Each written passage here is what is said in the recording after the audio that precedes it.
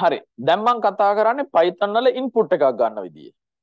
මෙච්චර වෙලා අපි කතා කරන්නේ output එකක් ගන්න විදිය. output එකක් අරගන්නවා නම් Python වලින් ඒකට අපි පාවිච්චි කරන්නේ print කියන strip එක. දැන් මේ කියන්න යන්නේ input එකක් අරගන්න විදිය. පැහැදිලිද? output එකකට print කියලා ලියනවා වගේ input එකකට අපි input කියලා ලියන්න ඕන. පැහැදිලිද? එහෙනම් මම නිකන් දැන් මේක තේරුම් ගන්න මේ මේ වගේ වැඩක් කරන්න. මං අඳිනවා පොඩි ෆ්ලෝ chart එකක්. ඒක Python code එකට හරවන්න. ෆ්ලෝ chart අපිට පුරුදුයි. එහෙනම් මෙන්න බලන්න මං අඳින ෆ්ලෝ chart එක start ඊට පස්සේ මම මෙතන ලියනවා input number 1. ඒක input එකක් නිසා මේ සංකේතෙන් අඳින්න ඕන. හරිද? ඊළඟට මම දෙවෙනි පියවරේදී මං ආය ලියනවා input තවත් input එකක් අරගන්න. ඒ අරගන්න input එක තමයි number 2 කියලා කියන්නේ. හරිද? දැන් අපිට ඕන නම් ඕක තනි පියවරට ලියන්න පුළුවන් flow chart එකක නේ. input two numbers as number 1, number 2. එහෙම ලියන්න පුළුවන්. කමන්නේ මම පියවර දෙක ලියන දෙක ලිව්වයි කියලා වැරද්දකුත් නැහැ නේ ඉතින්. හරි නේද? ඊට පස්සේ මම තුන්වෙනි පියවරේදී කියනවා සම් කියන කෙනාට ආදේශ කරන්න ඇතුළත් කරපු පළවෙනි සංඛ්‍යාවේ සහ number 1 plus ඇතුළත් කරපු දෙවෙනි සංඛ්‍යාවේ එකතු. ඇතුළත් කරපු දෙවෙනි සංඛ්‍යාවනේ number 2 කියලා කියන්නේ. නේද? ඒක ක්‍රියාවලියක් නිසා ওই විදිහට අඳින්න ඕනේ. හරිනේ. අවසානයේ මම කියනවා මෙන්න මේ එකතුව ඩිස්ප්ලේ කරන්න. එහෙනම් ඊළඟ පියවරට මම ලියනවා ඩිස්ප්ලේ කරන්න. එහෙම නැත්නම් print කරන්න. මොකක්ද print කරන්නේ? මෙන්න මේ එකතු. sum එක. හරිද? එච්චරයි store. ඔහොමනේ ඔක අඳින්නේ. නේද? මේකම මම දැන් Python වලට හරවනවා. අපි කිව්වනේ මේ Python වල මේ start වෙනකොට begin end වෙනකොට end stop වෙනකොට end එහෙම ඒවා නැහැනේ නේද? ඒතර කෙලින්ම Python වලට හරවද්දී අපිට හම් වෙන පළවෙනි පියවර තමයි මොකක්ද මෙන්න මේ input පියවර. පැහැදිලිද? Python වලින් ඕක ලියද්දී අපි ලියන්න ඕන මෙහෙම. input එකක් අරගන්න අර print වල වගේ වරහන් දෙක ලියන්න ඕන අනිවාර්යෙන්. input එකක් අරගන්න. ඒ අරගන්න input එක එයා තමයි number 1. ඒක Python වලින් ලියද්දී අපි ලියන්න ඕන මෙහෙම. number 1 සමානයි input ඕන් ওই විදිහට වරහන් දෙකක් එක ලියන්න. හරිද? input කියන කොටස ලිව්වේ input එකක් අරගන්න ඒ අරගන්න input එක මම ආදේශ කරලා තියෙනවා කාටද number 1. පැහැදිලිද? අරගන්න input එක number 1ට ආදේශ කරලා තියෙනවා. එහෙනම් දැන් දෙවනි පේලිය ලියන්න ඕන විදිය ඔයාලට තේරෙනවා. කොහොමද ලියන්න ඕන? number 2ට ආදේශ කරන්න ආදේශ කරනවට සමාන ලකුණනේ. මොකක්ද ආදේශ කරන්නේ? අරගන්න දෙවන input එක. input එකක් අරගන්න මේ විදිහට ලියන්න ඕන. පැහැදිලිද? අරගන්න දෙවන input එක. මේ පේලි දෙකත් එක්කලින් ලියන්න ඕනේ. හරිනේ? ඊට පස්සේ අරගත්ත පළවෙනි input එකයි අරගත්ත දෙවෙනි input එකයි එකතු කරලා සම්ට ආදේශ කරන්න. ඒක ලියන හැටි දැන් තේරෙනවා.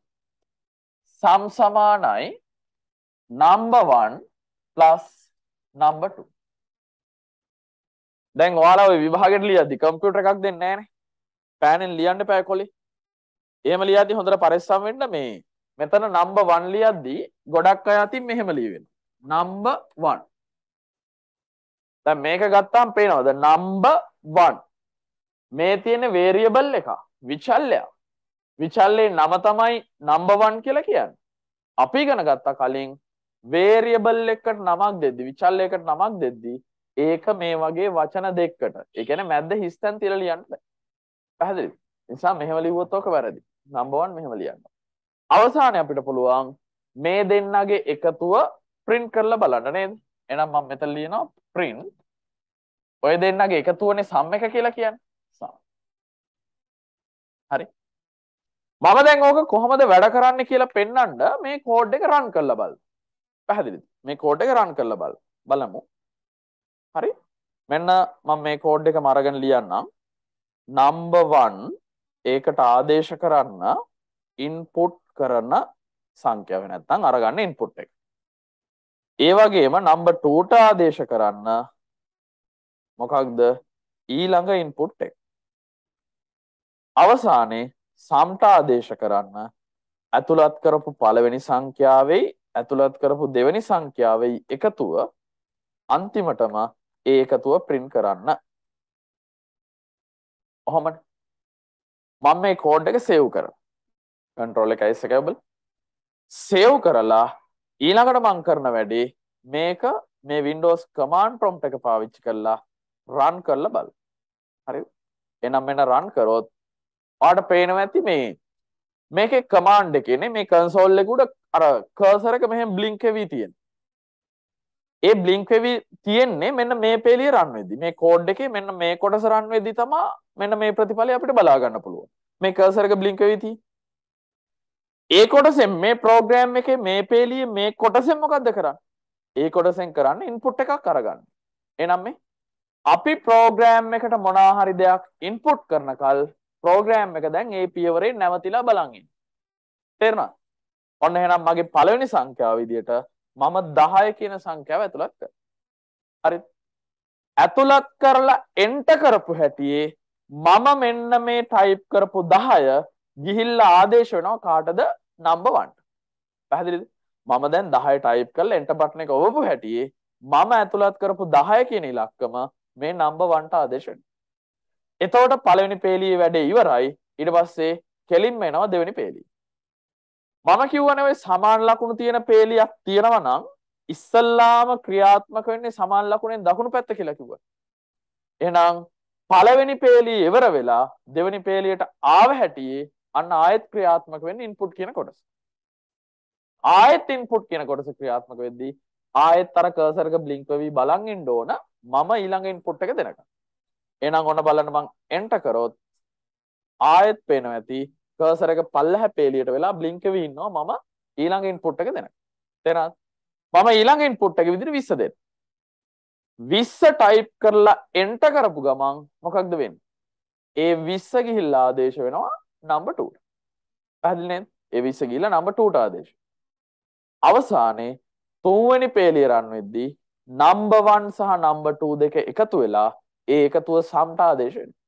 අන්තිමටම සම්ව print කරොත් output එක අපි හිතපු නැති විදිහට තමයි. කියන අපි බලාපොරොත්තු වෙන්නේ number 1 කියන කෙනා 10 නම් number 2 කියන කෙනා 20 නම් ඒ දෙන්නගේ එකතුව විදිහට 30ක් print වෙයි කියලා නේ බලාපොරොත්තු වෙන්නේ. මොකක්ද උනේ? 10 20 එකට මේ විදිහට print වුණා. ඒ කියන්නේ සංයුක්ත වෙලා print වුණා.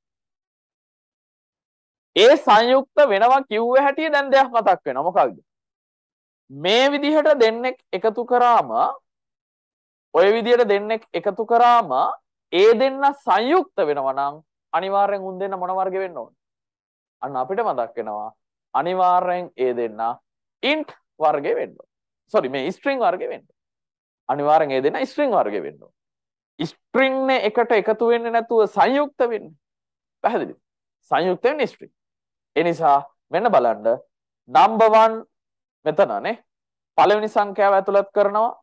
ඒ ඇතුළත් කරන සංඛ්‍යාව number 1ට ආදේශ වෙනවා. මතක තියාගන්න input කියන එක හරහා අපි අරගන්න ඕනම input එකක් string විදියට තමයි අරගන්නේ. පැහැදිලිද? අපි input හරහා input කරන්නේ string එකක් වුණත් int එකක් වුණත් float එකක් වුණත් මොන දේ වුණත් ඒක හැම වෙලේම program එකට අරගන්නේ මෙතන ඉන්න කෙනාට ආදේශ වෙන්නේ string විදියට. පැහැදිලි? එහෙනම් ඉස්සරලම මම input කරපු 10 මෙයාට ආදේශ වෙන්නේ string 10ක් විදියට. ඊළඟට මම input කරපු 20 මෙයාට ආදේශ වෙන්නේ මොන 20ක් විදියටද? string 20ක් විදියට. අවසානයේ මෙතනදී එකතු වෙන්නේ string 10ත් එක්ක string 20. එතකොට හරි දෙන්න සංයුක්ත වුණාම 10යි 20යි කියන output එක මේ විදිහට ලැබෙනවා. පැහැදිලිද? දැන් ඕගොල්ලෝ කලින් ඉගෙන ගත්ත දේවලුත් එක්ක ඔයාට ඕන විදියට මේ අවුට්පුට් එක හදාගන්න දැන් ඔයාලා දා. මොකක්ද අපිට ඕන? 10 20 එකතු අරගන්න. ඇයි එකතු එන්නේ නැත්තේ? මේ දෙන්න ස්ට්‍රින්ග් නිසා. එකතුව ගන්න ඕන නම් එහෙනම් දැන් කරන්න ඕන දේ තමයි මොකක්ද? මේ දෙන්න එකතු කරද්දී ස්ට්‍රිං විදියට එකතු කරලා බෑ ඒ දෙන්න මොනා බවට හරවන්න ඕනද ඉන්ට් බවට හරවන්න ඕන ඉන්ට් කරලා එකතු කරන්න ඕන එහෙම නැත්නම් ෆ්ලොට් කරලා එකතු කරන්න ඕන පැහැදිලිද එහෙනම් ඒ ටික මම කරා පළවෙනියට අරගන්න ඉන්පුට් එක ඇතුළත් කරන පළවෙනි සංඛ්‍යාව නම්බර් 1ටනේ ආදේශ කරන්නේ. ඒක නම්බර් 1ට ආදේශ වෙලා තියෙන ස්ට්‍රින්ග් විදියටනේ. එහෙනම් මම ඒ ස්ට්‍රින්ග් එක නම්බර් 1 කියන ස්ට්‍රින්ග් එක මං පරිවර්තනය කරනවා කාටද ඉන් බවට. එහෙනම් මම ලියනවා ඉන්ට් වලට හරවන්ට නම්බර් 1ව හැරවුවාම ලැබෙන උත්තරය ඒට ආදේශ කරනවා. ඒ කොහොමද ලිය? ඒ වගේමයි ඉන්ට් වලට හරවන්න නම්බර් 2 කියන කෙනත් එතකොට ලැබෙන උත්තරය බීට ආදේශ කරන්න. දැන් සම් එක විදියට එකතු කරන්න ඕන නම්බර් 1 සහ නම්බර් 2 නෙවෙයි ඒවා ඉන්ට් වලට හැරෙව්වාම ලැබිච්ච උත්තර A සහ B. පැහැදිලිනේ? A සහ B.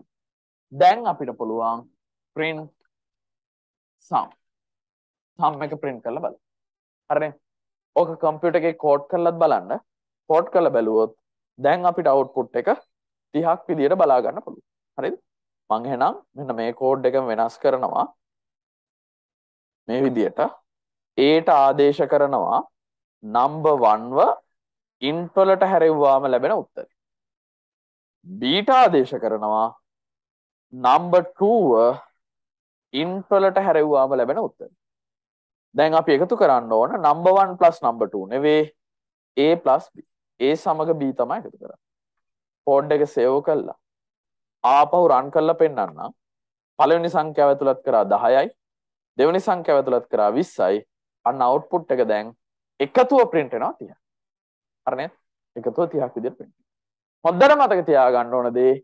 අපිට ප්‍රෝග්‍රෑම් එකට ඉන්පුට් එකක් අරගන්න ඕන නම් ඒ අරගන්න ඉන්පුට් එක අරගන්න අපි ඉන්පුට් කියන සිතේ පාවිච්චි කර හැබැයි ඉන්පුට් කියන සිතේ හරහා ඉන්පුට් කරන හැමදේම එයා ප්‍රෝග්‍රෑම් එකට අරගන්න ස්ට්‍රිං ඉදී පැහැදිලි ඒවා ඉතින් අපිට එකතු කරන්න අඩු කරගන්න ඔය වගේ වැඩවලට දානවා නම් ඒවා අපිට අවශ්‍ය වර්ගයට ඉන්ට් වලට හරි ඩොට් වලට හරි ওই විදියට හරව ගන්න සිද්ධ වෙනවා. පැහැදිලි නේද? කරන්න ඒක නෝට් එකක් හදලා ඔය ටික කෝඩ් කරලා බලන්න.